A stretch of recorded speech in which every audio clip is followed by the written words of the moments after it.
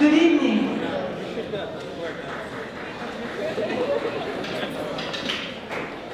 Welcome to PeaceWorks 2015. Justice rising from Palestine to Ferguson, from First Nations to the U.S. borderlands. A panel discussion with cross-movement activists. Thanks so much to all of you. Uh, for those of you that are in the back and still finding seats, we're just thrilled to see you here, to have such a, uh, a wonderful group coming out on this cool evening to join us. We had a great day here at Evergreen. It was uh, with this fabulous group of people that you're all going to get to hear from in just a minute or two. Uh, we had a wonderful presentation by my friend Omar Barghouti. I can't tell you what an honor it is for me to have him here. I, Omar and I have met in Palestine, and uh, it's just a pleasure to have him here in Olympia with us today. And uh, other friends as well. Uh, Jesse Hagopian and Gabe Schivone, and Kanahus is off, I, uh, maybe with her children for a moment, but a new friend. And just a treat to hear from all of them. And we're so happy to have Sarah Eltantawi, uh, Faculty of Comparative Religion here at Evergreen to moderate tonight. Thank you so much, Sarah, for taking this on. PeaceWorks was founded as a signature project of the Rachel Corrie Foundation to provide a forum for exploring the meaning and practice of justice and peace as they affect the social, economic, political, environmental, and spiritual aspects of people's lives. PeaceWorks proceeds with the understanding that all people share not only human rights, aspirations, and needs, but also the foibles of fear, aggression, and domination. With this in mind, we explore our own hearts first as we outward to the world community. I want to especially thank the Evergreen Longhouse, this wonderful house of welcome. The Longhouse mission is to promote indigenous arts and cultures through education, cultural preservation, creative expression, and economic development. And we are very mindful tonight of gathering on the land of the Squaxin people, and we are grateful for this beautiful space. The Rachel Corrie Foundation is proud and grateful to partner with a wonderful group of co-sponsors, uh, many of them here at the college, the President's Diversity Fund at the Evergreen State College, Evergreen Students for Justice in Palestine, and the following Evergreen programs. Power in American Society, Cultural Landscapes, Landscapes of Faith and Power in the Eastern Mediterranean, Political Economy and Social Movements, Diversity and Dissent in Education and the Media, and What Does It Mean to Be an American? Plus, we have uh, other co-sponsors, including Jerry Haynes of Seattle, and the Grateful Dogs Grooming and Day Camp, and we appreciate every one of them. Um,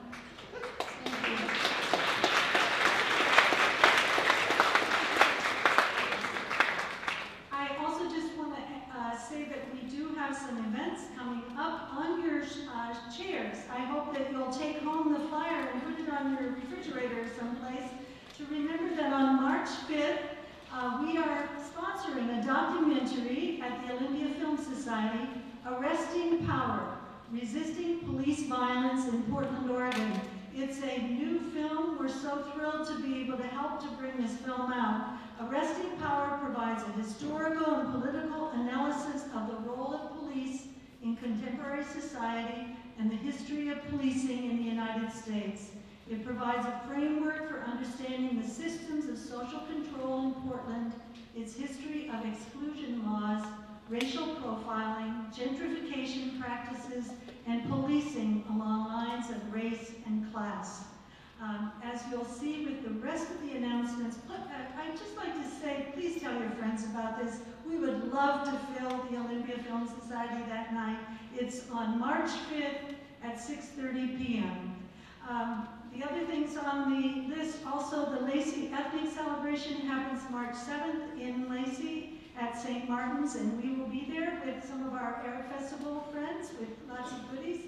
Chris Hedges, the journalist, will be speaking on wages of rebellion at 7 p.m. at SPSCC in the Minnaert Center on March 9th. Uh, I know that will be a really important uh, talk. And finally, uh, on March 16, 2015, we will mark Rachel's, uh, the 12th anniversary of Rachel's stand in Gaza.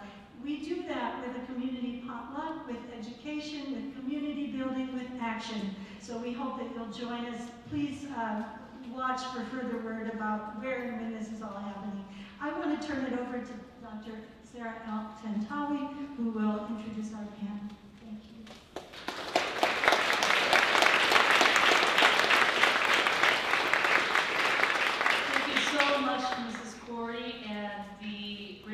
Foundation for Peace and Justice that put together this really extraordinary event. Um, it's a very exciting gathering this evening of people who have worked on the front lines of various struggles, who are going to share their insights and their, their experience uh, with us tonight. And we're going to have a discussion that will try to link together uh, some issues that seem disparate but really have a lot in common, we'll probably realize. As you know, the title of our event tonight is Justice Rising from Palestine to Ferguson, from First Nations to the U.S. borderlands. So I will not introduce all of the speakers just yet. I'll introduce them before they speak, but I'll just give you a little bit of an idea of the structure of this evening. The first is that we're going to hear from each of our speakers for about 10 minutes. And then um, I'm going to facilitate a 20-minute conversation among the four of us to, to try to draw out some of those linkages and, and see what, what, where we can get analytically with, uh, with these different experiences. And then the final 20 minutes of the program will be your questions from the audience. So without further ado, it is my deep honor to introduce our first speaker, who is Omar Barghouti, who is joining us tonight at Evergreen from Palestine.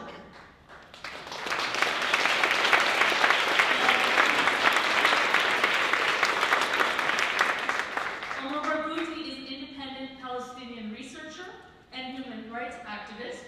He is the co-founder of the Palestinian Campaign for the Academic and Cultural Boycott of Israel and the Palestinian civil society-led Boycott, Divestment, and Sanctions movement, which is known as BDS, against the Israeli occupation.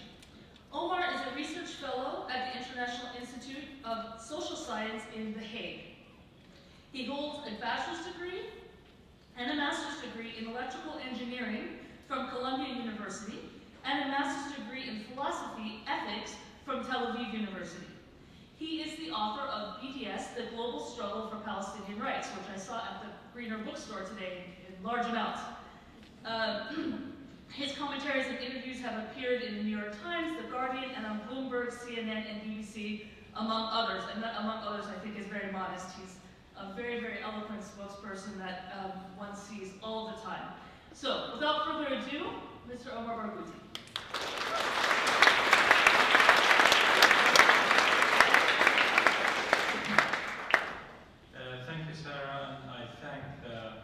Rachel Corrie Foundation and everyone else who participated in, in putting this together.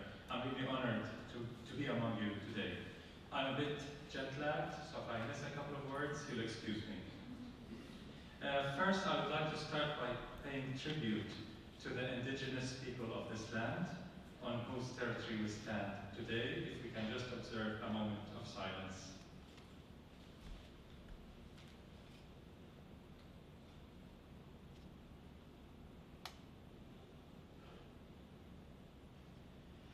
The great American writer I.F. Stone, uh, as far back as 1967, wrote this about Israel. Quote, Israel is creating a kind of moral schizophrenia in world Jewry. In the outside world, the welfare of Jewry depends on the maintenance of secular, non-racial, pluralistic societies. In Israel, Jewry finds itself defending a society in which mixed marriages cannot be legalized, in which non-Jews have a lesser status than Jews, and in which the ideal is racist and exclusivist, end of quote. That was as far back as 1967.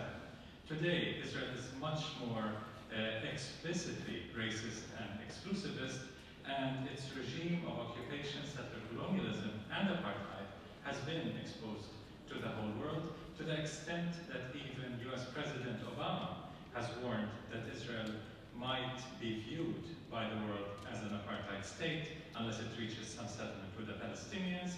John Kerry mentioned the apartheid term in describing what Israel might become. Uh, uh, and so did former President Jimmy Carter, of course, describe Israel's policies in the West Bank as constituting apartheid. Several Israeli politicians today admit that Israel is already an, an apartheid uh, state. Um, what does that mean? Are we saying that Israel is identical to South Africa when we say it's, it's an apartheid state? No, because apartheid is not just a South African crime. It was defined by the UN in the 1973 International Convention for the suppression and punishment of the crime of apartheid, uh, which defined the crime as systematic racial oppression by one racial group against another that's legalized. So when you have racist laws that discriminate against part of your citizenry, that's apartheid. It's not just racial discrimination, it's legalized, institutionalized racial discrimination. That's exactly what Israel has. Israel has more than 50 uh, laws that discriminate against the indigenous Palestinians who are citizens of the state of Israel simply because they're not Jewish. Uh, in the last couple of years, the last few years, Israel's status in, in, world public opinion has really plummeted. Uh, the BBC has an annual uh, poll of international public opinion called the Globescan. In the last number of years, the BBC poll has shown Israel competing with North Korea over the third or fourth worst perceived country in the world. Uh, in fact, according to the BBC Globescan poll of 2014, a two-third majority across Europe's largest nations view Israel negatively. So it's not just Brazil, Egypt, India, South Africa that view Israel negatively. Huge majorities across Europe view Israel negatively uh, today. Even in the US, while still we do not have a majority opposing Israel, uh, a recent CNN poll a few days ago showed that uh, two-third majority of Americans prefer neutrality in the so-called Palestinian-Israeli conflict. So they do not want the US government to support one side or the other. Two-thirds. That's a pretty high uh, percentage. And in fact, in, in some polls of 2014, there was uh, close to 40%, 40% of Americans supporting sanctions against Israel because of the settlement policy. Sanctions, 40%. So when, when people say, oh, BDS will never go mainstream in the US, how so wrong they are. It's already becoming mainstream in the US. Um, among young Democrats, young members of the Democratic Party, the percentage is quite high who are opposed to Israel's uh, policies, especially among women, African Americans, and Hispanics, as the poll calls them. Um, even among Jewish Americans, 15% support a full boycott. 15% support boycotting Israel.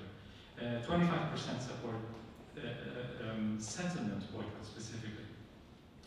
So we're seeing uh, a, growth of um, anger at Israel's policies and action to stop Israel's regime of oppression. So it's no longer just demonstrations and burning Israeli flags and so on, it's action to stop companies, institutions that are complicit in Israel's regime of oppression to make that complicity end. Um, Israel's foreign ministry earlier this year distributed a paper to its uh, diplomatic missions across the world saying expect 2015 to be even worse. The boycott is spreading. Uh, Shabtai Shavit, head of uh, Israeli intelligence Mossad for several years, uh, has reached a conclusion that BDS is the second uh, most threatening factor that faces Israel uh, today. So what is BDS? In a nutshell, the boycott, divestment and sanctions call was issued by the great majority of Palestinian civil society in 2005. By the great majority, I mean all political parties, trade unions, women's unions, academics, students, refugee networks, NGOs, and so on and so forth. It called for three specific rights without which Palestinians cannot exercise our inalienable right to self-determination. Ending the occupation of 1967, which includes the wall, the illegal colonies, and so on. Ending the system of racial discrimination, which meets the UN definition of apartheid. And the third is the right of return for Palestinian refugees. We focus on all three basic rights, not just ending occupation, because the Palestinian people are made up of three main components. 38% only live in the West Bank and Gaza, which includes East Jerusalem. 12% are Palestinian citizens of Israel, and about 50% live in exile outside of historic Palestine, not allowed to go home because of their identity. Um, uh, Archbishop Desmond Tutu, who was one of the leaders of the South African anti-apartheid movement, once said, quote, I'm not interested in picking up crumbs of compassion thrown from the table of someone who considers himself my master. I want the full menu of rights. And that's precisely what the BDS movement has sought, the full menu of rights for Palestinians. We shall not settle for a lesser human status. We need a full equality with all other humans in our rights. Um, some of the successes, because I don't have too much time to go into a lot of successes, but I'll share with you some successes that the BDS movement has achieved in the last couple of years, which has led Israel to feel that it, BDS has become a strategic threat. That's their term, strategic threat to Israel's regime of oppression. Um, during Israel's latest massacre in Gaza in the summer of 2014, five Latin American countries withdrew their ambassadors from Tel Aviv. Evo Morales became the first head of state to endorse BDS. Um, the ANC and the ruling alliance of South Africa has endorsed BDS as well. In the economic sphere, we saw a lot of companies and banks and institutions throughout 2014, especially after Gaza, but ever from the beginning of the 2014 year, taking action against Israeli banks and companies involved in the occupation. For example, the Bill and Melinda Gates Foundation uh, withdrew its investments from G4S, a security company involved in Israeli prisons and checkpoints and so on. Um, also, the PGGM, a huge Dutch pension fund, withdrew its investments from all Israeli banks involved in the occupation, and so did the Norwegian pension fund, withdraw funds from two Israeli companies, military companies involved in the occupation. Uh, we saw SodaStream, a company that uh, manufactures in a settlement in the occupied territories, uh, seeing its stock price plummet very severely. Uh, and we saw several Israeli companies facing real consequences. The European Union started considering selective targeted sanctions, if you will, against particular companies involved in the occupation. Uh, and and we, we saw a lot of uh, movement in the beginning of an economic isolation. And Israel is recognizing that uh, change. But leading to that economic factor, we had a lot of boycotts in the academic and cultural sphere. Between 2014 uh, and 2013, we saw eight academic associations, mostly in the United States, adopt a full academic boycott of Israel. That has completely shattered the taboo about Israel being not boycottable in the United States. That's what the lobby and all the mouthpieces of the lobby have been telling us it's impossible to, to associate boycott with Israel in the same sentence. Well, now academic associations have proved them wrong. They've adopted a full academic boycott of Israel, which is institutional. Uh, Danny Glover, the famous Hollywood star, became the first major cultural figure in the US to adopt the cultural boycott uh, of Israel. Artists in Hollywood are, though not yet supporting BDS, talking openly about Israel's state terrorism in Gaza, as did uh, Viggo Mortensen. Penelope Cruz, Javier Bardem, and others uh, uh, condemned Israel's quote-unquote genocide in, in Gaza. So the wall is falling apart. The psychological wall that Israel and its lobby have built in people's heads is falling apart. While they're building a wall in the West Bank, in the occupied territories, Israel's psychological wall around the wall, around the world the protective shield that's enabling it to continue its system of oppression is collapsing before our eyes. And that's something that we take a lot of pride in participating in. Um, the last point I want to mention is intersectionality. A lot of the boycott movement today is about intersectionality, cross-movement coalition building. Uh, South African judge John Dugard said, Palestine today is the litmus test for human rights in the world, just as South Africa was a couple of decades ago.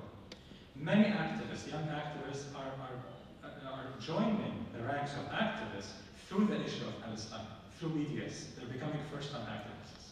So BDS is not simply about Palestine. It's about this unjust world order where oil companies, military companies, and very anti-democratic governments and banks and financial institutions are controlling our fates. Our enemies are very connected. So it's time that we, the victims, the oppressed, connect as well to fight that common enemy together.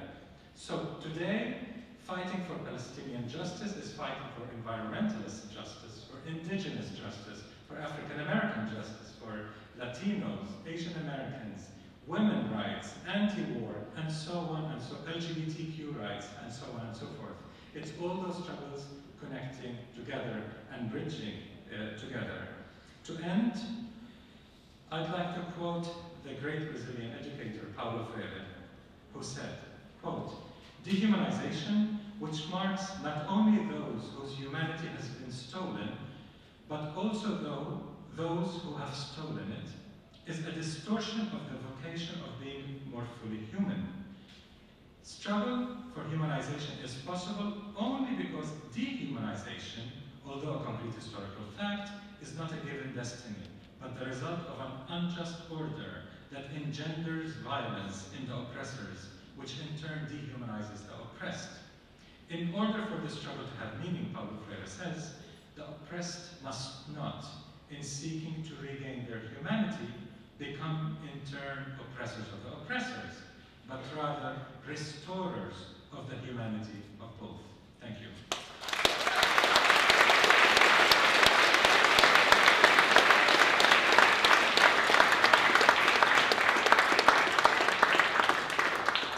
Thank you to Omar Mahmoudi. We'll just keep going right to our next speaker, who is Jesse Hagopian. Uh, Jesse Hagopian teaches history and is the co-advisor to the Black Student Union at Seattle's Garfield High School, the site of the historic boycott of the MAP test in 2013, which I hope was awesome. He is the editor and contributing author of More Than a Score, The New Uprising Against High-Stakes Testing, and associate editor of the acclaimed Rethinking Schools magazine, and a founding member of Social Equality Educators, SEE. Jesse was the recipient of the 2012 Abe Keller Foundation Award for Excellence and Innovation in Peace Education, and won the 2013 Secondary School Teacher of the Year Award and the Special Achievement Courageous Leadership Award from the Academy of Education, Arts, and Sciences. In 2011, he participated in the Interfaith Peace Builders historic first African Heritage Delegation that brought 14 African Americans ages 28 to 79 to Israel and Palestine to meet with civil society organizations, human rights groups, and grassroots activists to better understand the conflict. Welcome, Jesse Hagopian. Well,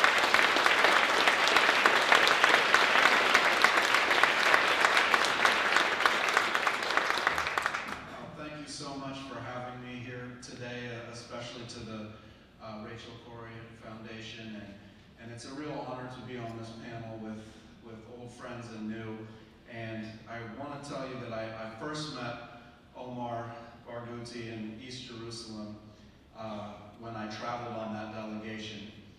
And it was not long after the only democracy in the Middle East, uh, Israel, uh, passed a law that said you cannot publicly advocate for BDS, or uh, there, will, there can be severe sanctions, right? And so, guess where I met Omar? At a book reading for BDS. there he was. I was a little worried that uh, the meeting might get broken up, and, and our host, uh, taken away from us. But it was at that meeting um, that I think I really steeled my resolve to join the Black Liberation Movement here in the United States with, with the Palestinian Liberation Movement. Uh,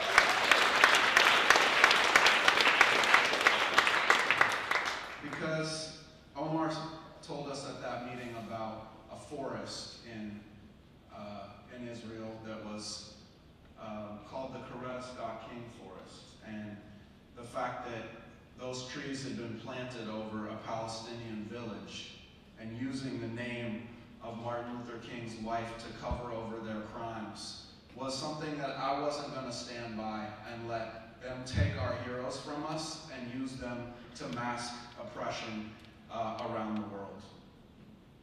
And so I, have been in, in that struggle, and I'm proud to say that the, the movement for black liberation in this country is on the rise. It's on the rise in Ferguson, it's on the rise in, Staten Island, it's on, it's on the rise right here uh, in the Northwest and, and at my high school, Garfield High School in Seattle.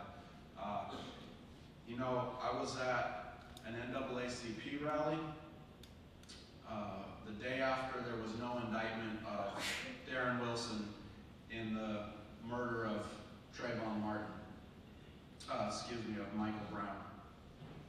And uh, I went to that rally to seek solace and to, to try to find people to, to lift us up in a really dark time. Um, and at that rally, I, I addressed the crowd and I said that there was a level of anger amongst the young people that I was working with at Garfield that I've never seen before, and a level of passion and commitment to the movement that I'd only read about or heard my parents talk about as people who were active in the civil rights movement. And um, as I left that rally to get back to Garfield before the lunch period was over, uh, I had to pull my car over because a thousand students came screaming out of the, the door of Garfield High School chanting Black Lives Matter, hands up, don't shoot.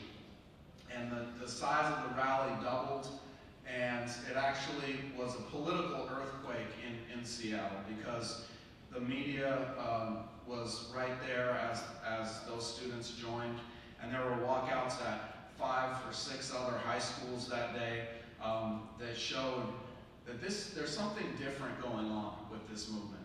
Because young people have taken the lead in this movement and they know that the success of this movement is tied to the, their success as uh, young people in, a society that's deeply racist uh, and, and, deeply un, unequal. And they have taken the lead and aren't waiting for everyone else to, to give guidance, to, to tell them when to slow down, uh, and have uh, begun to change this country in some impressive ways. And you know that the chief of police in Seattle came to meet with the students at my high school. And she said she was deeply concerned about the issues that they were raising. And she wanted to uh, lend an ear and be a conduit to change in the Seattle Police Department. There was a lot of nice sounding words that were uttered in that back room at Garfield High School as my students went through one crime after another that the Seattle Police Department had perpetrated on communities of color. And it wasn't long after that meeting that I addressed the crowd at the Martin Luther King Day rally. And I spoke about King's legacy, about those who would seek to praise him, but deprecate the struggle today, right? Those who would use his image uh, to make themselves look like they stand for racial equality, but yet oppose those who would uh, seek direct action against racism and, and police brutality, right? Reminding us that he didn't just say, I have a dream that day, he also condemned police brutality uh, in the same speech. And so I think it was only a few minutes after I got off the podium and joined a group of young people who wanted to keep the struggle going that I myself was uh, on the sidewalk, on the phone with my mother, coordinating a ride because it was actually my, my second son's birthday party and I was leaving the rally to go celebrate with my son and the police, as I'm turning away, walking away, uh, sprayed me in the face with pepper spray.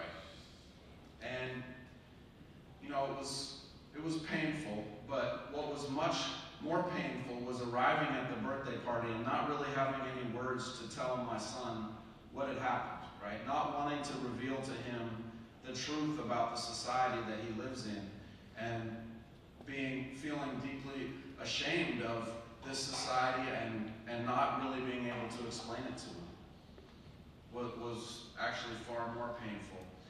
And you know that I thought that I was going to live with that pain as an individual and have to deal with that on my own. And then somebody had a video of it. And we released that video uh, with a lot of community support and we'll be building ongoing campaigns for uh, social justice and racial justice in Seattle and standing up for those who've been brutalized by police far worse than I have. But the same day I released my video, another gentleman in Seattle released a video. You guys heard of William Wingate? If you haven't, you need to Google him and watch his video. He's a 70 year old man in Seattle. He was a retired bus driver, retired Air Force veteran, and he was doing the same walk that he'd done for 20 years in Seattle, and he was waiting on the corner for the light to change. And as he's waiting, uh, you can see in the video a cop car pulls up, the officer gets out and says, drop, uh, drop that weapon or, or uh, drop that golf club. He had a golf club that he was using as a walking stick that he had used as a, as a walking stick every day for, for decades. And he said, Can you call someone else to come mediate the situation? And she, she says, Yes, I've done that, but I need you to drop that. And he says, Why? I haven't done anything. And then you can hear her say, You just hit me with that. You just hit me with that. As he's standing there, not even within range where he could have if he, if he had made the slightest gesture. But in fact, uh, there, there, he had not moved at all and not threatened or endangered anybody. William Wingate. And I was at a rally with William Wingate recently, and I'm proud to say that hundreds of people in Seattle joined him uh, at a march on the East Precinct, all carrying golf clubs on their way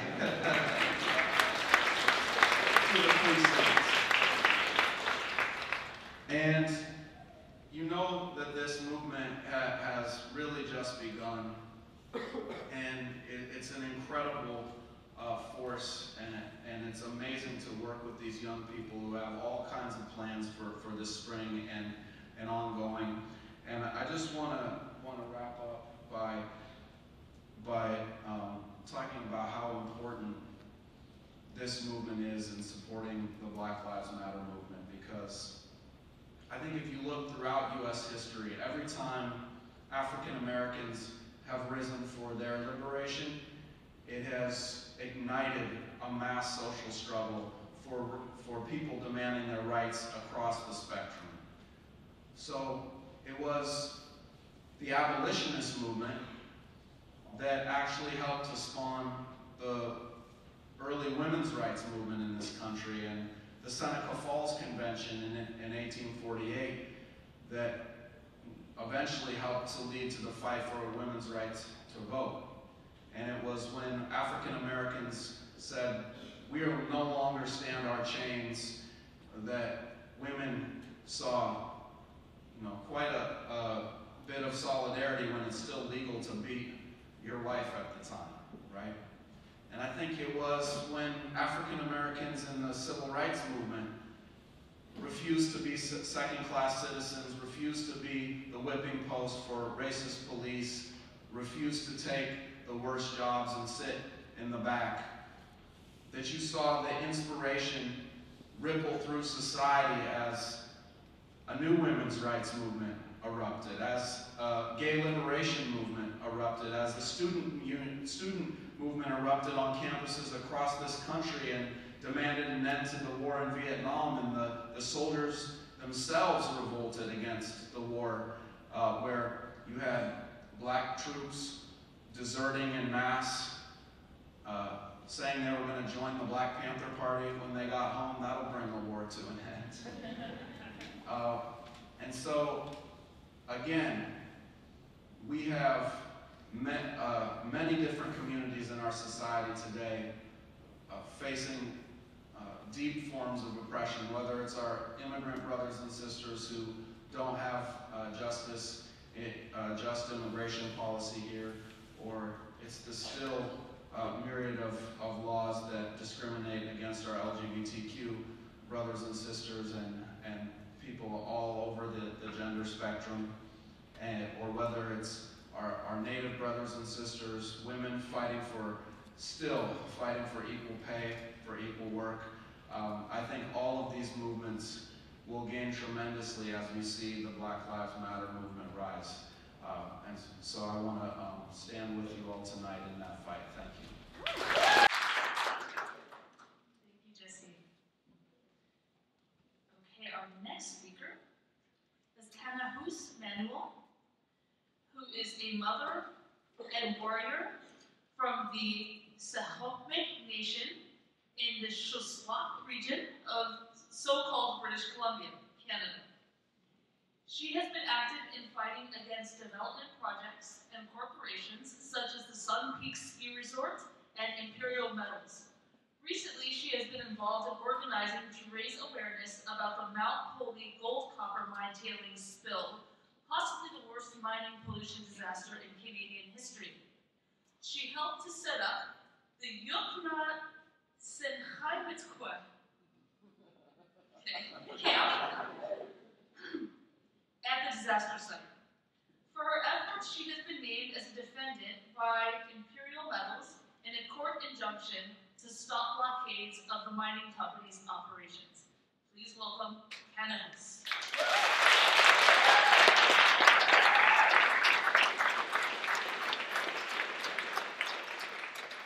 Kupaita, um, my name is Kanahus Beshki, it means red woman in Ktunaxa.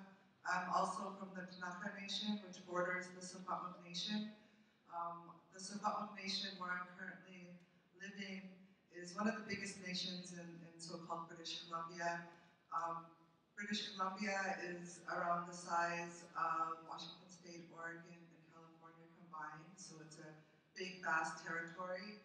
The majority of so-called British Columbia is unceded, unsurrendered, no treaty or purchase um, ever of um, our lands. So we, we come from a really strong stance um, in our fight for our territories. Um, our, our territory is a home to some of the world's largest sockeye salmon spawning grounds. It's a home to a really rare inland temperate rainforest. We have lush cedars and old growths.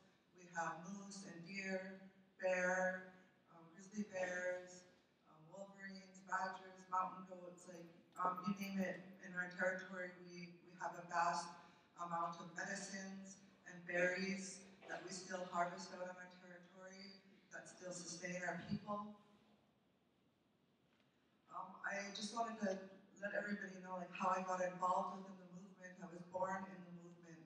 My, my grandfather is the late Grand Chief George Manuel, and my father is Arthur Manuel. I come from a family of fighters my, um, my grandfather, my uh, Wolverine is here. He was involved in the last armed standoff in British Columbia, which was in 1995, where the Canadian government came at, at one point in, in an hour and a half and shot off 77,000 rounds of ammunition against him and just a few handful in the encampment.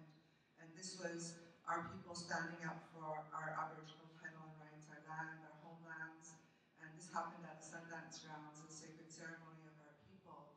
So this is the way that Canada looks at us as Indigenous people, that we don't have no rights there, that this isn't our land, and Canada continues to use their legal system to imprison and criminalize our people.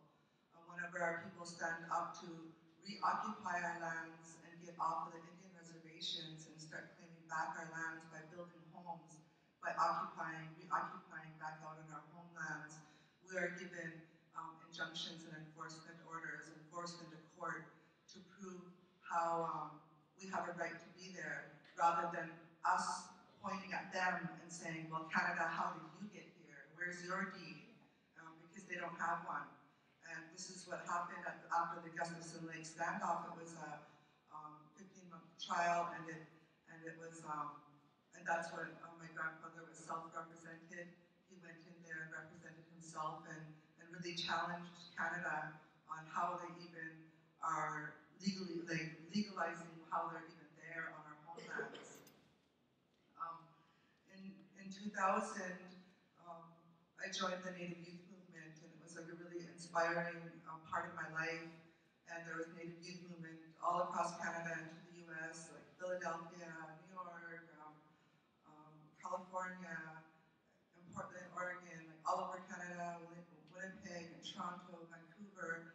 And young people were standing up and they were occupying government buildings and setting up roadblocks to stop industry from um, going in. And in our case, it was the Sun Peak Ski Resort, which is a, a massive uh, ski resort up in our mountains, just behind our current day Indian reservation. And within maybe an eight-month period, we had around 75 arrests. We had our cabin burnt down to the ground. We had a beautiful corridor home that we built that was bulldozed down to the ground. We had our sweat lodges our men and women sweat lodges torn down and eagle feathers desecrated. Um, and this is the, the war that has taken place. And, and, they're, and they're waging their war with industry in our homelands, um, the ski resorts, the, the mining companies. I just wanted to like so, show a little like slideshow, um, if I could get some help. Um, I think it's gonna help me. Um, show some of the, the destruction that's taken place. This is our, this is our war zone And you see these pictures, it looks like a war zone. And these mining companies are coming into our back, the back countries, into our water, and it's, and, and they're, this one mining company is Imperial Metals on August 4th. They had one of the world's largest tailing pond disasters that spilled into freshwater salmon-bearing creeks and, and lakes and rivers.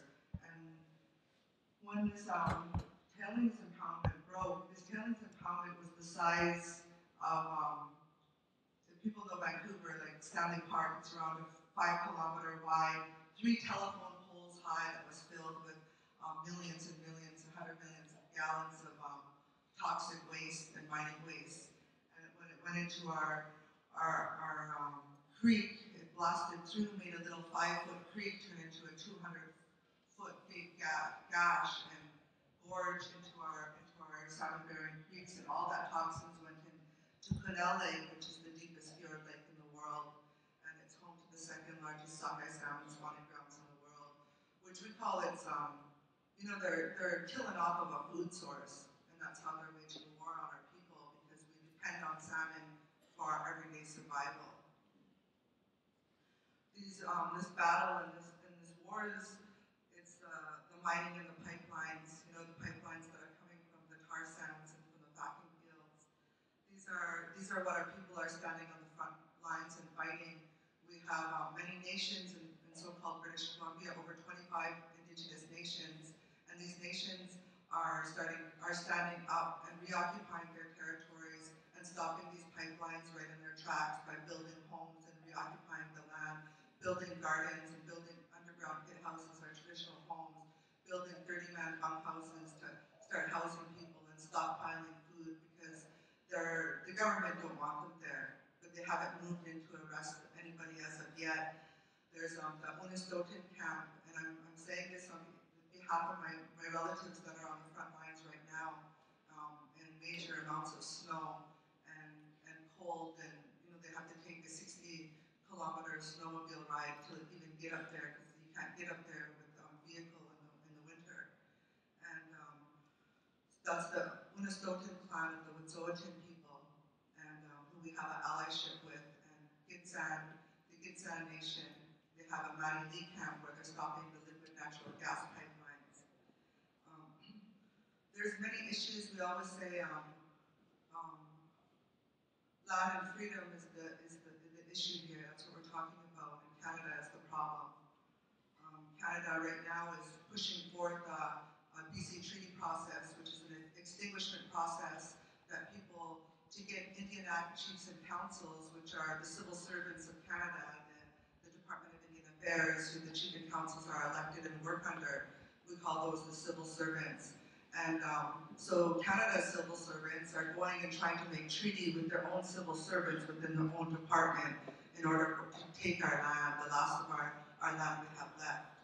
Um, the issues that, that we're facing right now is colonization. We have the reservation system. We have the intergenerational abuse and trauma from the sexual abuse and, and physical abuse that was faced in the residential school system.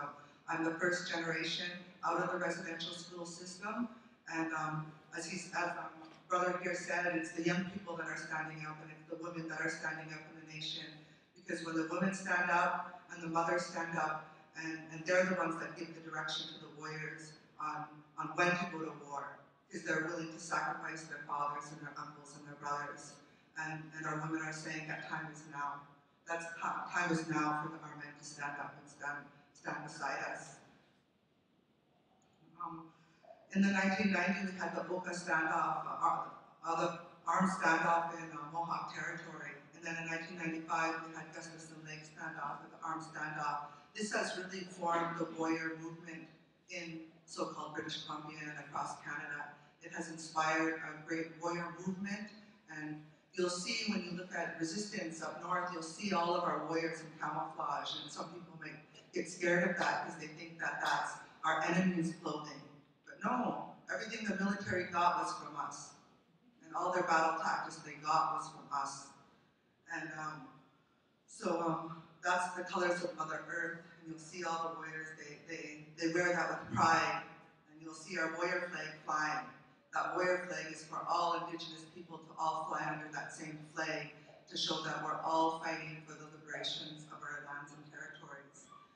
Um, I like to always like give people also that we're not just talking about the problems, we're talking about the solutions and start thinking critically on how we're going to create some solutions here as the young people for our future. And so there's many different projects that we work on, and some of them is feeding the people and growing gardens, massive amounts of food, so we're able to feed the people. We have a project going, it's called Nourish the Nation, and it's um, for my grandfather Wolverine's big farm that we're we're going to be um, working on this year. And he's been doing this for many, many years, seed saving saving the traditional seeds because that's how they're going to, um, that's how they control us. He says they control us through our belly because we depend on their stores and we depend on them for our food systems. But um, to create our own independence with our food and our shelter, um, building our own traditional homes and beginning to live in them and without electricity and running water and just by candlelight and, and firelight and being able to raise our children like that. I myself, I have four children. They're not registered with the government of Canada. We call them freedom babies. I refuse to have Canada give any type of identification or number to my children. And a lot of women are taking this exact same stance. Um, we do a lot of decolonization and um, even within our talks, to say like we're all colonized people. Look at your history, where you're from. No, you're not Canadian. No, you're not American. There's roots that you come from that need to be um, um, learned about and your history because that's how you're going to know who you are and to know that okay, well I'm not traditionally from here. I'm on someone else's territory. Well, is my rent due? You know, do I have to fight for this air that I'm breathing and this water that I'm drinking on this land that I'm living on? And like we said, it was the Squaxin, I'm not sure if I'm saying it properly, but the territory here. Um, we're looking at our own traditional health care, bringing back our health systems and, and our medicines, and birthing our babies along with our own traditional midwives not registered within the system.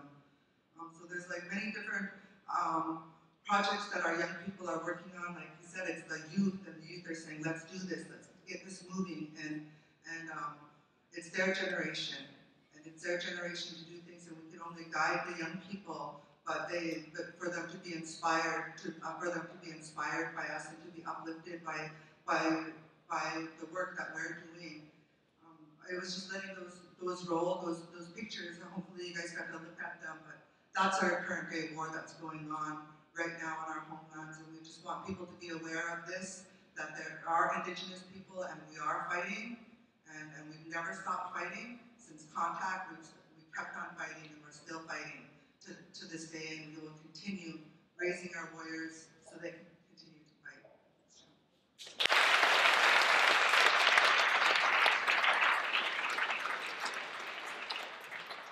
Thank you. Okay, our last speaker is Gabriel M. Schivone, who is a writer from Tucson, Arizona, and has worked as a humanitarian volunteer in the Mexico-U.S. borderlands for more than six years. He's also co-coordinator of UNIDOS, an indigenous-based ethnic studies youth group. Schivone blogs at Electronic Intifada and Huffington Post Latino Voices. His articles have appeared in the Arizona Daily Star, the Arizona Republic, Student Nation, The Guardian, the McClatchy newspapers, the Chicago Tribune, and others. Gabriel is a founding member of the Ad hoc National Students for Justice in Palestine Conference Steering Committee. Welcome, Gabriel.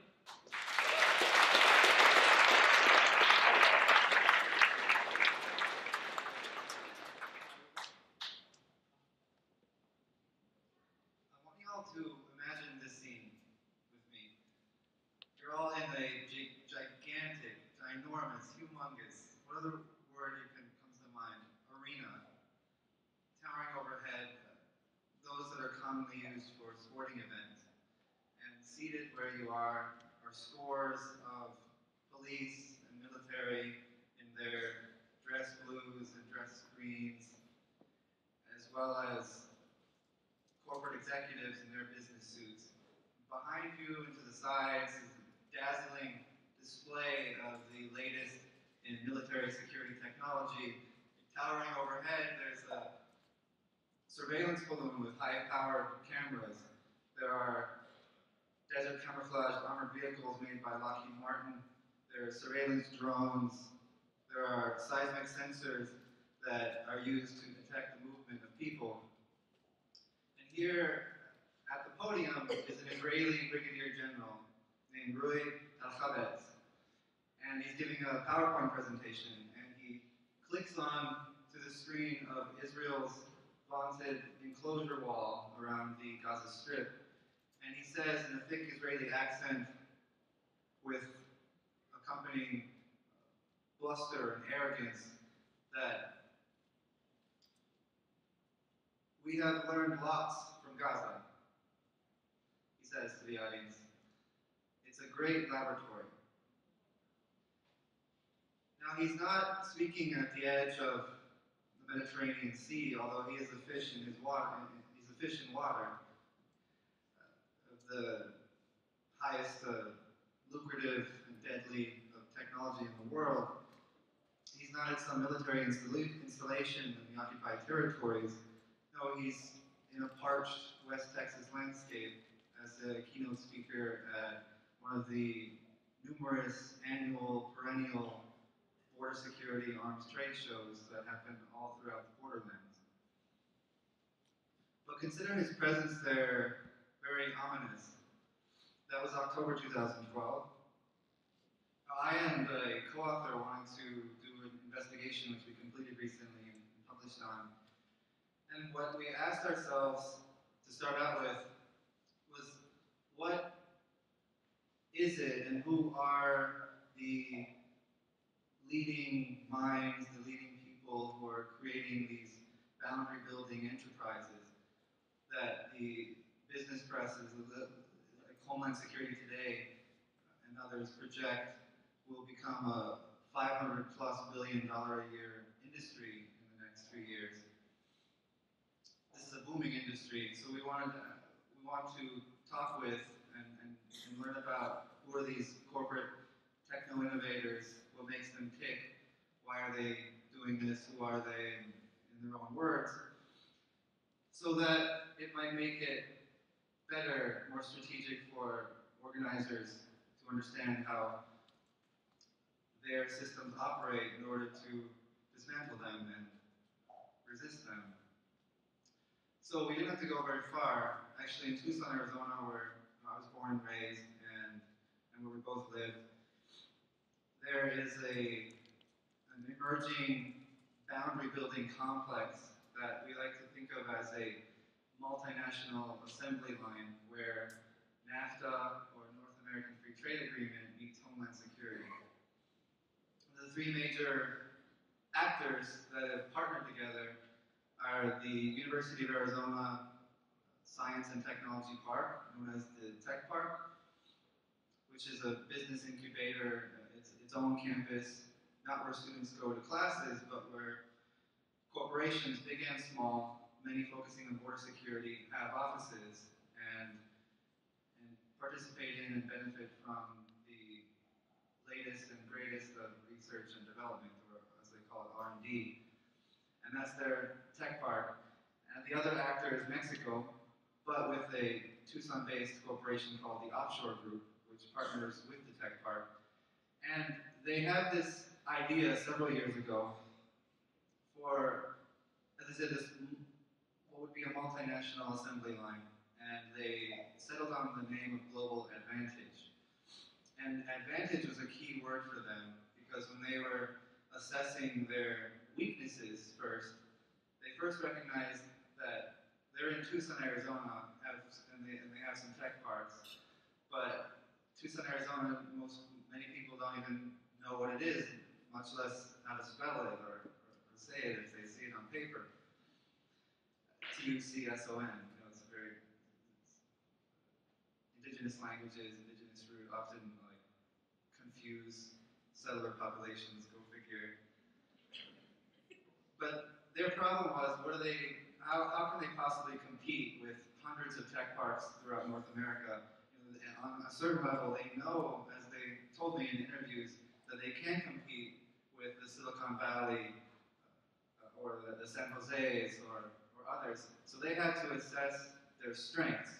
So they, they looked at their weaknesses, uh, so now they have to assess their strengths. And their strengths are in the region, how they can, what, what can they exploit, and thanks to the uh, flourishing settler history of the, of the region, three regional industrial strengths that they have to harness, they can enjoy harnessing, are the number one, border, military, security industry, hydrology, or water power, and solar power. And as they told me, when they were assessing those strengths, each one led straight back to Israel because they would need a first global client, as they say, to be proof of concept this global advantage concept. And so they had to manufacture an advantage that they could have over all the other tech parks. And so there was never any question that Israel would be this first client for them. And so several years of establishing contacts, uh, traveling to Israel, meeting with companies, establishing relationships began. And they didn't go public until just in the last year. And going public means getting political support, getting legitimacy, uh, organizing a public meeting of the governors and mayors in Arizona and Sonora, Mexico, which share, and they call an international border, occupying indigenous lands, and particularly in southern Arizona, Tohono O'odham people, uh, their ancestral lands are bisected by the border. So they have this, these regional strengths, and they all lead them back to Israel. So they begin this, this process, and they, they go public, and they have all this lauded support, and the governors commit to follow, to following the lead of the Tech Park and Offshore Group. And this is how they tell me that they pitch to the Israeli companies. Uh, with Offshore Group's manufacturing tech parks in Sonora, although they're based in Tucson, they say to Israeli companies that they visit and that they lure over here to visit southern Arizona. Here, I'm, I'm in Arizona in my head. Excuse me. They say to them, look, we know you use China as your Mexico, but uh, Mexico is, showing itself to, to be a leading player more and more over China. So we want, we want you to choose Mexico as your, as your symbolic Mexico through China. And this is why we can offer you the, the greatest uh, minds at the University of Arizona and the, the leading research institution. We can offer you the, the top R&D facilities in, at the tech parks in the U of A. And you can come here and then manufacture products just across the border in Mexico at offshore groups manufacturing tech parts.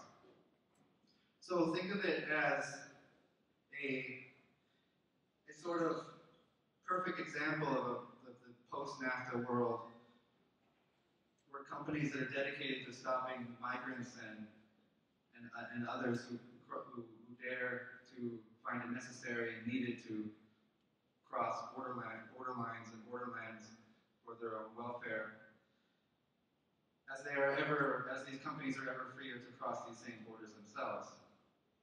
And where they, they pair ill-paid, the products of ill-paid Mexican blue-collar workers with manufacturing Israeli products that are being designed in the tech parks in the southern Arizona, of the United States. So it's this very faithful triangular when a bunch of companies that share the same field, uh, and he's talking specifically about, security companies, they tend to cluster together. Now they do, to an extent, compete, but to a larger extent, they cooperate and in sharing resources, sharing technology, uh, participating in trainings and, and others. And so they tend to cluster together.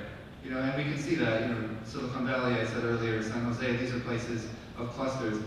But in Bruce Wright's mind, he's thinking in terms of border security.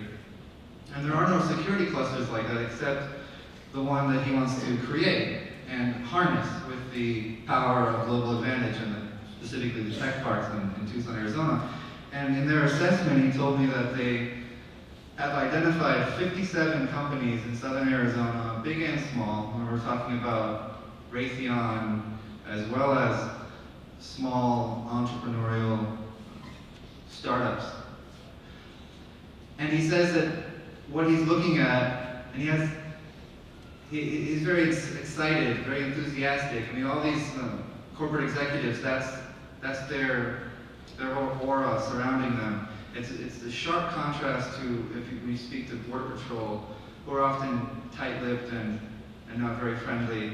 But they, when they do speak, they speak in terms of neutralizing the threat. They speak of us and them, the enemy, very militaristic terms. But when you talk to people like Bruce Wright, the intellectuals, the scientists, they're very excited and they have a gleam in their eye because they see them, themselves as providing the solutions to major world problems in which there are, there's money to be made, which is, he's upfront about. Why shouldn't, we, if there's this problem about, about locking down a border, why shouldn't we make a buck? He says.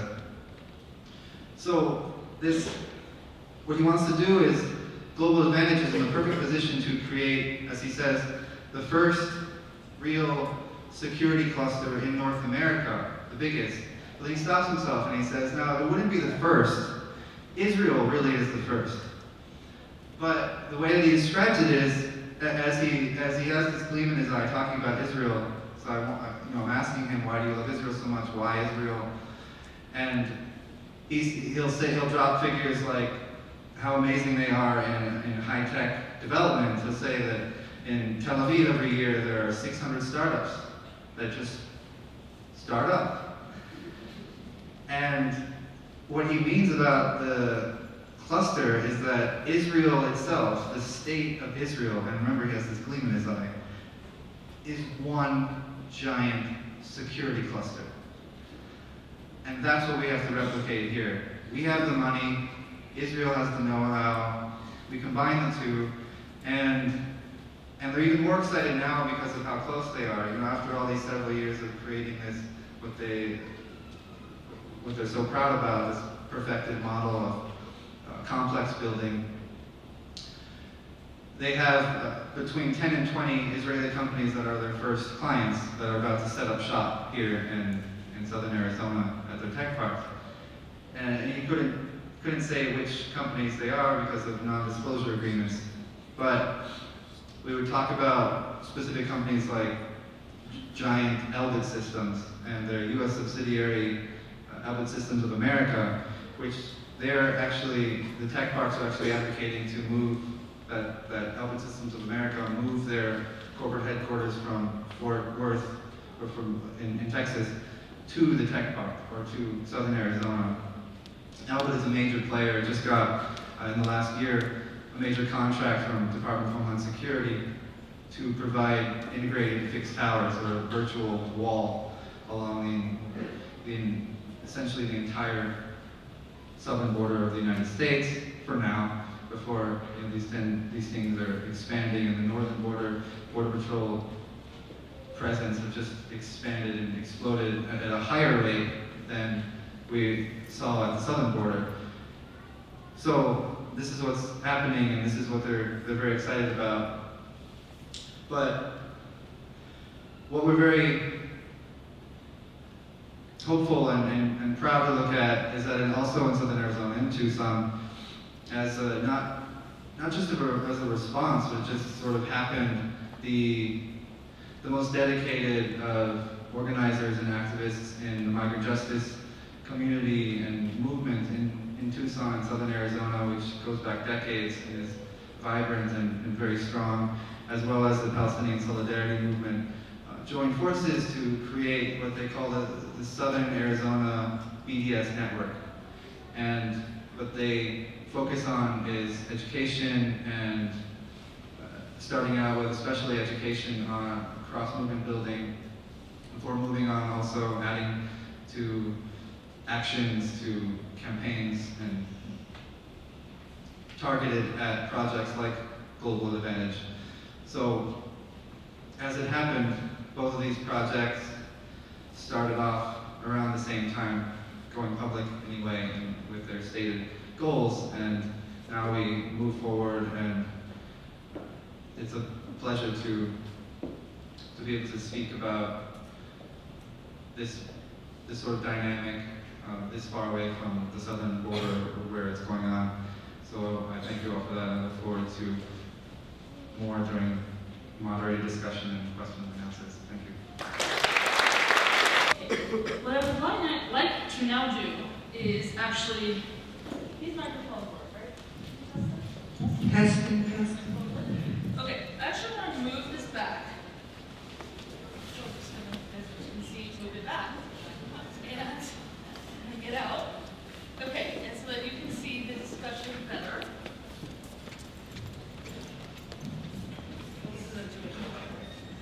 Okay.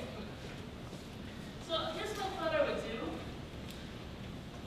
I'm going to give you just kind of one mega question that I, that I see as a synthesis of your four talks, um, and just want to get your feedback on that, and then we'll take it from there for the rest of the discussion. So the one main, there's incredibly rich talks, so I'm, this is a drop in the bucket in terms of what I see as some connections, just preliminarily. And what I see is basically all four of our panelists are essentially fighting the contemporary equivalent of asymmetric warfare in their various contexts. Each, each person is representing a movement against a structure that in all cases are far more powerful than their movement in raw material terms, in terms of money, power, diplomatic cover, etc., etc. Uh, however, all four of our participants are describing a situation in which, in many ways, their movement is ascending. Um, and so I'm just curious about that dynamic. So more specifically, with Omar in Palestine. Um, in, one of, in an op-ed that Omar Barghouti published in January of 2014, um, Omar, you were talking about the recent wins of the BDS movement, and you talked specifically about how the Israeli foreign ministry, um, in response to BDS, was attempting to basically rebrand Israel, right, with this kind of marketing campaign so this is like the high capitalist marketing campaign where, where reality is perception, etc.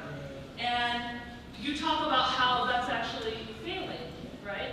Even though that's a movement that no doubt is backed by millions of dollars and the diplomatic cover of the United States, which is of course the world's only superpower. So how can it be in material terms, I think this is what I'm getting at in terms of the question, that that kind of asymmetry that in many ways BDS is really just growing and growing. How can that possibly be? And so a connection I see there with the other speakers is when Jesse, you know, you didn't really talk about this in your remarks, but we know from your biography and from your work that you've been active against standardized testing, right? And, and I see that as part of that same kind of, we can call it informal strategies up against the, the, the formal kind of strictures of society. And then of course in Kanahus's example is very, very striking, which is really you have an entity declaring itself a nation state with its entire apparatus of laws, even though, as you say, the, the country of Canada doesn't actually have any written deeds that entitle them in any way to, to your land, but, but an entire apparatus of laws has been erected um, that are then used against Native people. And, and you have your own strategies for fighting against that kind of formality. And finally, Gabriel, his amazingly intricate, you know, kind of mechanics of, of, of the security apparatus in, in southern Arizona. You, I mean, I don't know if you really had a chance to elaborate so much on exactly how the intersection of, of people fighting for border rights and BDS actually then manages to, in some way, subvert, somehow subvert this massive machinery. But all in all four of your talks, I see that, you know, that unlikely triumph of the informal over these formal structures. So I wonder if you can elaborate on that. Or anything else you want, but I thought we'd start us off on that. How, do, how, can, how can it be, really? Yeah, um, so at Garfield High School, I think the eruption of the MAP test boycott is part of the legacy of why our, our faculty and, and our students feel so emboldened uh, to take action on a whole range of issues, whether it was budget cuts this year, whether it was a walkout of the entire student body and staff refusing to have one of our, uh, one of our faculty members fired or laid off for lack of funds um, it's the Black Lives Matter movement, and the, the MAP boycott helped to ignite a struggle across the country against high-stakes standardized testing. And the 1% in this country have made the privatization of education one of their top priorities. And how do they do that? How do they eliminate public schools and replace them with charter schools often run by private companies that get public funds but don't have oversight of democratically elected school boards. Like for instance in New Orleans, does anyone know how many public schools are left? Zero. They do not have any public schools in, in New Orleans. They're 100% charter, right? And so now that's the image that they have for this country. And the way that they get, they do that is by labeling the public schools failing right? So how do they do that? They first sell you a product for many billions of dollars to test the students. You underfund the students, you cut the counselors. Like in Seattle, we have no elementary school counselors left. They were, they were laid off. Um, you, you systematically underfund the school, and then you register the results with the high-stakes standardized tests. And then you say they're failing, we have to replace them with, with charter schools. Um, and so we are up against the richest people the world has ever known. Bill Gates is using his war chest to press uh, this agenda of tying teacher evaluations to high stakes tests, of using these tests to deny students graduation, of using these tests to close schools. And yet we are currently experiencing the largest uprising against high stakes tests in US history. There are 60,000 parents in New York State alone last year that opted their kids out of these tests in, in a mass act of refusal. There was the largest walkout in U.S. history of, of high school students refusing to take end of course exams this past uh, refusing to take graduation required exams this year in Colorado. Um, and the movement is poised for incredible growth this spring. People should follow it closely because this spring will be the first time that the new Common Core state tests are used in Washington state uh, and in many states across the country. And they have said they're going to fail 60% of our kids here. That's the number that they have come out and told us before they take it, that 60% will now fail this fall. Um, we're saying this is an invalid metric, that what high stakes tests measure above all else is access to resources, not your intellect. Uh, and I think it's, if we see the coming together of a Black Lives Matter movement uh, that, that um, can join this movement, where we could see a real eruption in, in society, especially if you make the link that these, where did these high stakes tests come from originally? Uh, the eugenics movement um, is actually what brought standardized testing into the public schools in the early 1900s, and it was um, courageous fighters like W.E.B. Du Bois who first spoke out about these, these standardized tests, and so uh, I think when I'll just wrap up by saying that at Garfield, we no longer administer the MAP test because the boycott was successful and the, the superintendent canceled the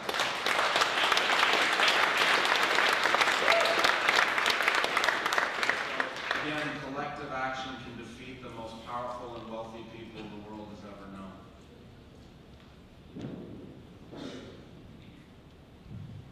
Uh, I agree, of course, with the same tactics and strategies. Uh, one thing that we did resort to in the BDS movement, having such a huge enemy as Israel, the US Congress, major corporations around the world, uh, is not to fight our enemy for, you know, head to head, not to meet their strongest part, but rather choose their weaker part. Uh, Israel is a huge military power. Um, fighting Israel in a traditional warfare, anyone would lose, most likely. It's a nuclear power, it has nuclear weapons, but it has a, a soft underbelly. Uh, Israel was not designed to face nonviolent resistance. It's a very powerful machine, but it was not designed to meet kind of citizens' actions, citizens' movements, nonviolent movements uh, against it. Uh, and that's why we resorted to that. Uh, um, so when, let's say, we pressured to have the Presbyterian Church divest from HP, Caterpillar, and Motorola Solutions last year, what can Israel do with its nuclear weapons against the Presbyterian Church? They're deemed absolutely useless. And that's exactly the type of strategy that, that we've adopted. Uh, and of course, we believe that uh, we've got to build grassroots movements to apply pressure on decision makers. We do not expect decision makers uh, Congress, for example, is the best uh, case one can think of, of institutionalization of corruption. You cannot expect anything positive or moral to come out of US Congress without massive upheaval and pressure from underneath. Uh, uh, faith communities, trade unions, uh, minorities groups, and so on and so forth, all putting pressure to change policy. Um, uh, and the last point is connecting our struggle with progressive struggles across the world. Let me push you on that a little bit. So one of the major critiques of the BDS hear is, especially the academic boycott, is you should not be boycotting Israeli academics because those Israelis are the ones most likely to join your struggle. They tend to be on the left, they tend to be intellectuals, liberals, etc. What do you say to that? Uh, well, the, the, two premises uh, in the question are false. Uh, Israeli academics are not progressive at all. Uh, they're as right-wing, as fanatically racist as the rest of the Israeli society. The absolute majority of Israeli society is very racist, deeply colonial. 95% of Jewish Israelis supported the massacre in Gaza in 2014. That's how racist Israeli society is, and academics have not distinguished themselves from that uh, majority. The second premise is false. We're not calling for a boycott of Israeli academics. We're calling for a boycott of Israeli academic institutions. And that's a big difference between the Palestinian boycott and the South African boycott. In the South African case, it was a blanket boycott against every single academic and institution. In our boycott, we're calling for uh, uh, targeting institutions alone. So if an Israeli academic is coming to teach at uh, Evergreen, for example, without any institutional support from the state or from complicit institutions in Israel, nothing in the boycott would stop him or her from, from coming here. So we're not targeting uh, academics. Just to give an example of uh, how unprogressive, unliberal Israeli academics are, in 2008, four Jewish Israeli academics had an appeal to the Israeli military to allow Palestinian educators and students access uh, through military checkpoints. Because at checkpoints everyone is stopped and delayed and uh, quite often teachers do not make it to school or to universities and students are denied access to education. So that appeal, written by four Jewish Israeli academics, was just allow them passage at checkpoints so that they can reach their schools. Very basic academic freedom. They sent it to all 9,000 Israeli academics thinking that every decent academic would sign that. It doesn't say end occupation, God forbid, or end apartheid, just allow them access. Only 407 academics in Israel so it fit to sign that petition. Out of 9,000, that's less than 5%.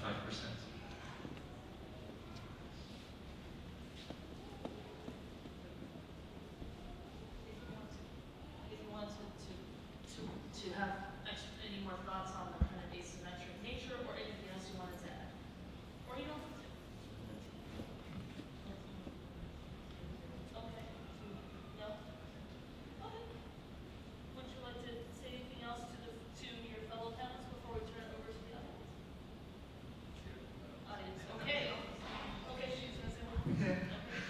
These are just some thoughts, and people might be like, why did she have those thoughts while they were saying that? But anyways, um, it's like the, the institutions that Canada has set up right now, like our public school system and our, and our university, the universities and prison systems, like all those institutions that are um, Canadian institutions, they're destroying our people. And as, as young people, we're, we're finding our own solutions, that our power is in our spiritual, like our elders said, like we have to have um, protection, we have to have our ceremonies. That's something that's really, really powerful. And it's through our people gathering and, and having our ceremonies and bringing back our traditional forms of governance structure. And that's what's really scaring Canada, is that when our people get organized, because they use the divide and conquer with our people so, so much through the Indian Act system and the chief and council system and the elected leadership versus the grassroots traditional people, that um, once, once we can unite and push those things out and pull ourselves out of all of that, pull ourselves out of the school system. My kids don't go to that school system. I'm not brainwashing my kids. Pull them out of all of the ways that are going to continue to colonize my children, and I'm not going to colonize them. And so we have to really look at, you know, our own systems of education. What does education mean to us? You know, I'd rather have my kid graduate out of my life school and our life school when they're 16 by being able to build a house, by being able to go into the mountains and eat the foods and know what to eat and survive and not go to um, the grocery store. Like, so we have to really look at like our own independence and, and out of these institutions and not depending on them. Okay, so we have the lovely gentleman who's walking away right now. Hi. Raise your hands. Right over the corner. Okay. With the microphone. And um, because we are pressed for time, we ask that your comments assume the form of a question, which has the question mark at the end. Okay? Okay, I think that's a good idea, yeah. Okay, so uh, my suggestion is that we just take three or four questions, and then, uh, and then come back.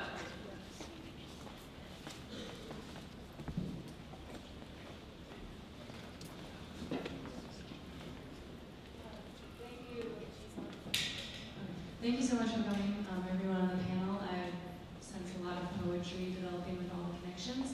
One thing that I would really like to hear is what does a culture of resistance look like for you um, and your community that you come from and the movements in which you work?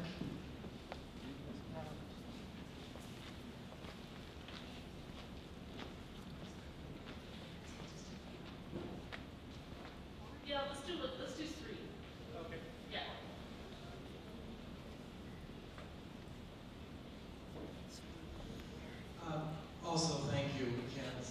say that enough, uh, for coming. And I really do like the idea of the synergy. Um, but I'm wondering, using the example of asking for reasonable academic freedom at the checkpoints and getting such a small uh, response. Now that does say something about the character of that group of people, but I am wondering if there's a downside of linking lots of movements or if there's any perceived downside where people who are, there are very few people who track all of these issues. And the uncertainty of people entering into issues where there are polarized situations of, well, I need to, you know, hear what's on everybody's mind so I can hear the truth all around the story. And many people don't have much of the truth, but they have some of the truth. Even if they're on the other side of any movement. They have some small concern that leads them to be so strongly fearful, uh, I guess. Um, when people join movements, they need to listen. So if we're asking them to join five or 10 or 50 movements, is there a downside that some people will just not because they're not clear on the many issues involved? I think if we could all listen to panels like this monthly, weekly, you know, regularly, people would start to understand. But this is the general public, is the general public ready to sign on to a united movement? And how can we articulate the points that everybody's going to see clearly so that we can get people united broadly around a better, less violent, less fearful world?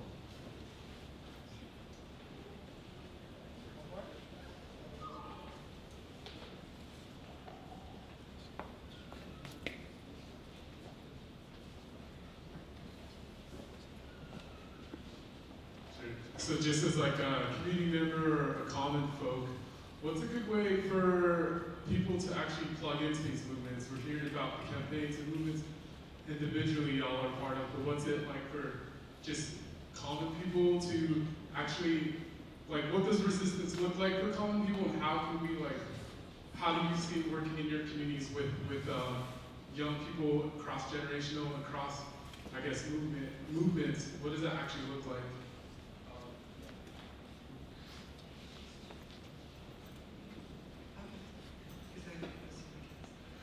Okay, um, I like, I really, really like everybody's question.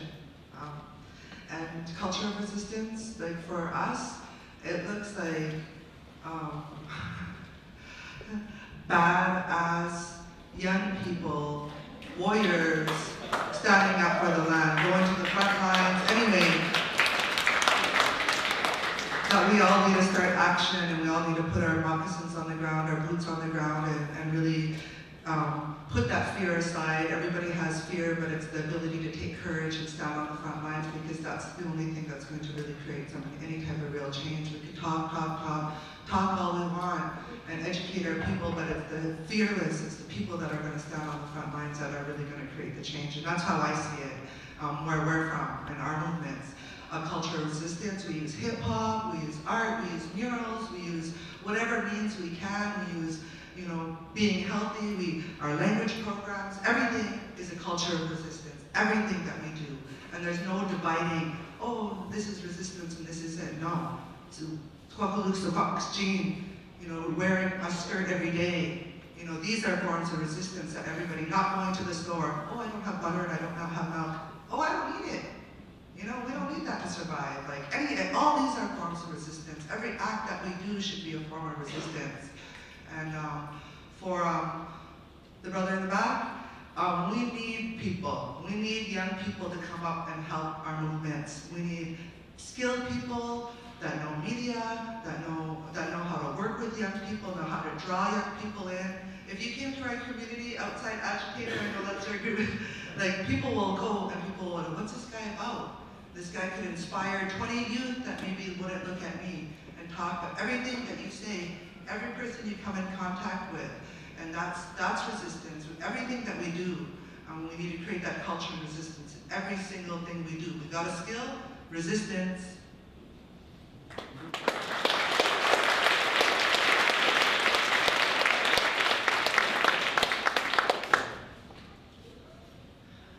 Um, the only thing I would add is an example of what all the what all we've set up here in terms of ordinary people acting extraordinarily and organizing together, and the need to think creatively as, as is what gets things done, you know, to figure out things, uh, asking questions and then going out and answering them. And I'm thinking of the whole relationship between I and my co-author who sort of did this research, volunteered to do this research as, as part and supporters of the Southern Arizona BDS network and then presenting to the group, you know, skill sharing about what we found. And while all of us are asking, like, at the very beginning, like, how can we oppose this asymmetric apparatus? And the answering process provided provided possible routes to still think through about where are what are the weakest links, what are the vulnerabilities in this monstrous machine, and the investigation gave possible answers, whether things that are visual, things that can be publicly uh, called out from the tech park itself as a location site for protest or resistance, to going out and finding the Israeli towers that are in southern Arizona right now. For the longest time, Customs and Border Protection, which is under, is under Department of Homeland Security and is the parent agency of Border Patrol, and which is administering and facilitating the Israeli contract, paying Elbit Systems of America, the Israeli firm that are building the towers.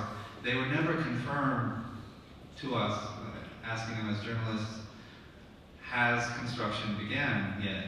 Because it's already been a year and presumably they're out there, but they would they would never say, and they don't have to say. Uh, and so we went out and found, I mean, they're big towers, they're out there somewhere, so we have to go out and find them. And we did just a few weeks ago, friend of ours was hiking, he's a humanitarian worker, and he was hiking in the canyons and hills surrounding Nogales, which is a border community near Tucson. It's on the border, and the border wall now bisects the entire community of uh, Sonora, Nogales, Sonora, and Nogales, Arizona. And he had just read our essay, actually, uh, that came out the day before, and then he was walking along and he saw this tower in the distance, and he's like, it looks like what was described in the essay. And so he told us, and then we all went out there, and sure enough, we hiked up this, this winding, ascending hill there were construction workers, there were Caterpillar bulldozers going up and going down, going up and going down. There were the construction workers in the bright orange vests uh, up on the tower, you know, calibrating and and there was a security agent there with a heavy flak helmet camouflage pants and military boots and a sidearm and a handlebar mustache and a, a very grim face and he's like wanting to know what, who the hell are we and what are we doing there. And inadvertently, the construction workers, and we were casually asking, starting a conversation and saying, what is this? And we are just wondering what, what, what it is and, and you all work for. And they had a little conversation amongst themselves that we overheard where they said, uh, should we refer them to Elbit? And then this other foreman, uh, presumably the foreman just comes barreling down the, hill and, and just like stops everything He's like, no, no, no, no, you have to talk to CBP, we can't say anything. But in saying nothing, they confirmed that what we were looking for. And so this it provided us another possible resistance site. And so we were just uh, populating a list of possible sites of, of actions, demonstrations, and then we get down to the creative nitty gritty about what are the circumstances that, were, that would best facilitate um, acting and when and, and, stuff like that. And that's what we all ordinary people will always, we have to do is the only answer we know that works. Thank you.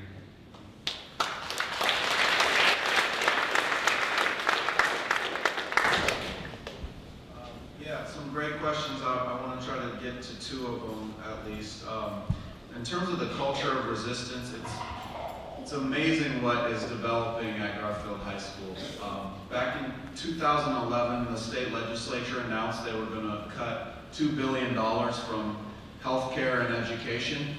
And a, a group of teachers and I went down to the, the state capitol and we uh, said if, if no police are going to deal with this situation, um, then somebody has to call out the fact that this is illegal. Not according to activists, but according to uh, uh, the King County Superior Court judge at the time who had ruled that cutting education funds was a violation of the state constitution. Um, and so when they gavelled in the session, um, a few of us were able to slip into the room and uh, unfurl a banner announcing a citizen's arrest of the state legislature. And um, we handed out the citizen's arrest warrants, and I think it was at the moment when I produced some plastic handcuffs that the, the state trooper didn't find it as funny as some of you. Arrested me, and I spent the evening in your fine city in the, in the jail.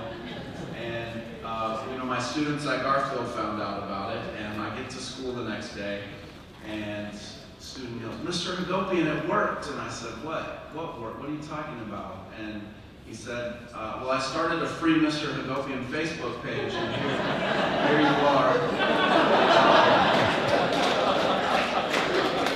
and, well, I said, that's not quite how it works. You should stay in civics class. But, but he changed the Facebook page to walk out against the budget cuts. And in 24 hours, we had 600 students march out of Garfield, and not just skipping class, but they, they produced a pamphlet that went through what the budget cuts had done to our high school in terms of eliminating summer school programs so that kids who fall behind in credits can't graduate, in terms of eliminating four years of, of language and, and science so that only the students with means could, could take those classes at community college. Uh, they delivered these demands to the mayor um, and, and uh, it was only a few weeks after that that they spread to uh, all citywide walk out against the cuts, and then uh, the Supreme Court ruled in the aftermath of this uprising of youth that in fact they were right, and that the that you know the legislature had to uphold the funding of the schools, and and that is where the MAP test boycott came the next year uh, that collective action, refusing to administer a flawed exam that's reducing our kids to a test score, um, and pushing out critical thinking and imagination and creativity and, and, collaboration and all the things that we actually need to develop if we're going to save uh, our society and, our planet. Uh,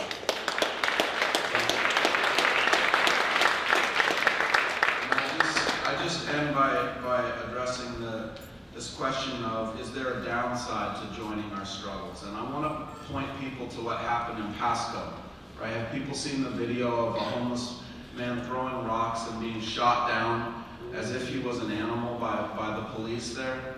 You can't understand what happens to that Mexican immigrant uh, if you don't understand what happened to Mike Brown, who was shot down in the streets of Ferguson, or Eric Garner, who was choked to death. Uh, right? And you can't understand uh, what happened to that man in Pasco if you don't understand uh, NAFTA and, and the free trade policies that push people out of their homeland in search of, of uh, a means of subsistence, right? And so um, I would suggest that they very much know how our struggles are, are interconnected, and they understand quite clearly that if they don't maintain the most unequal society in, in human history, if they don't extract wealth uh, from, from those of us here in this country, they can't use it to oppress people in the Middle East, right? And to hold down Palestinians. And, and they understand that the, the subjugation of people uh, across the world is predicated on uh, the subjugation of us here at home. And I think we have to understand that as well, and we have to unite these struggles if we're ever going to be successful. And so it may be difficult to educate people on a range of issues, but none of us is free unless all of us are.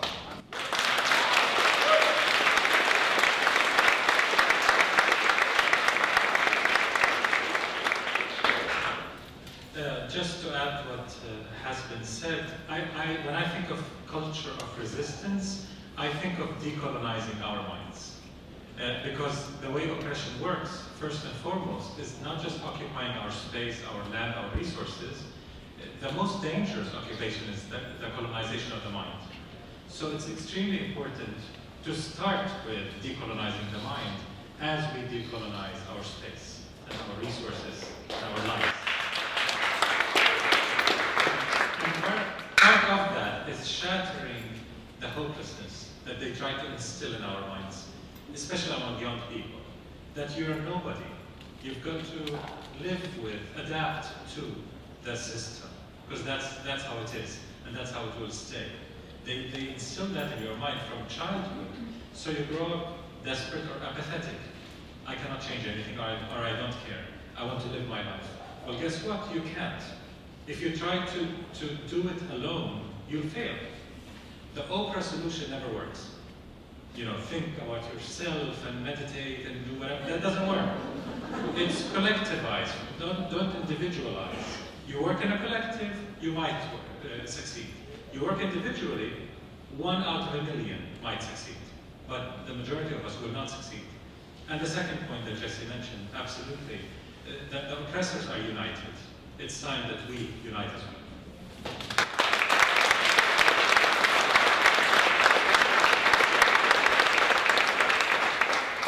Is that on?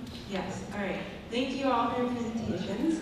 And my question is specifically for Omar Barghouti. Um, are you familiar, uh, just so I can phrase the rest of the question from there, are you familiar with um, the incident that happened um, around a collaboration between Israeli and Palestinian artists at the mattress factory in Pittsburgh? Yes. Okay, I'm from Pittsburgh, so I'm just, um, that's something that I'm aware of, and it's basically, from my understanding, it's um, two Palestinian artists and two Israeli artists, and they were going to do, and actually I'm uh, acquainted with the artist who's bringing them together um, at the Mattress Factory Museum. It, it is a museum, not a mattress factory, um, in Pittsburgh. Um, and the exhibit was canceled because of the boycott. Um, and the idea was to raise awareness, uh, my understanding is that the idea was to raise awareness around conflict in Israel-Palestine and to support uh, the Palestinian cause, but they were not able to go through with the exhibit because of um, cultural boycott. Um, and so I was just wanting to understand better what happened there, because um, I know that you talked about the um, it being an institutional boycott in terms of academia, and I was wondering how that applies specifically to the arts or to cultural issues, since it seems like that was a case where there, there was a lot of good conversation and education that could have come out of um, that art exhibit that wasn't able to happen um, because of the boycott. And so I just want to understand better what happened there, because I think it's a great, you know, of course, BDS is a great strategy in many ways, but what, what happened there? In the next 24 hours, if you could have everyone in this room do one thing, what would it be? Yeah, I'll answer, I'll answer the first question, and somebody else answers the second. Uh, okay, without going into too many details that many in the audience might not know, just to explain why some events involving Palestinians and Israelis are opposed by the BDS movement and why they get cancelled because of, of the BDS movement's guidelines. Um, we call this normalization. Uh, it's a translation from Arabic, so it might not mean much to an English-speaking audience. Normalization, basically, is making something abnormal look artificially normal. So a, a master-slave relationship with cosmetics might look normal, but it's not. It's never normal. It's a master-slave relationship. It's a relationship of oppression. To make it to make it really normal, you have to end oppression, because it's abnormal for anyone to oppress anyone else, right? So when you get oppressors and oppressed, people from the oppressor community and people from the oppressed community together in a project without taking a position against oppression, that's the key condition, then you're basically entertaining a third party.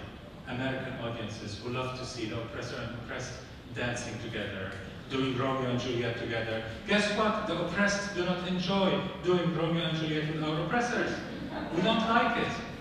Uh, I was in the Netherlands once in a conference and somebody said, if Palestinians and Israelis would just love each other, we will get rid of this conflict. I said, look, if a master is loving a slave, it's rape. It's never love. It's always coercive because it's an oppressive relationship. You've got to end the bondage first, and then possibly, maybe, we might love each other, or not. But you, any kind of love relationship in, in, the, in the midst of oppression is always rape, is always coercive. So, in some projects where there's no, in the framing of the project, there's no position against the system of oppression, there's no call for ending occupation, to give you an example, in the uh, South African context, which I was active in during college years, anyone suggesting a project involving whites and blacks in South Africa without calling for abolishing apartheid would have been rejected by the absolute majority of the blacks fighting against apartheid because it legitimizes apartheid. It's as if we can coexist despite apartheid. No, we cannot. You've got to take a position. There's no art above politics if it, if it normalizes oppression. That's a very political art and a very biased political art. It is politicizing oppression by ignoring, uh, politicizing art by ignoring oppression. So that might answer it in general.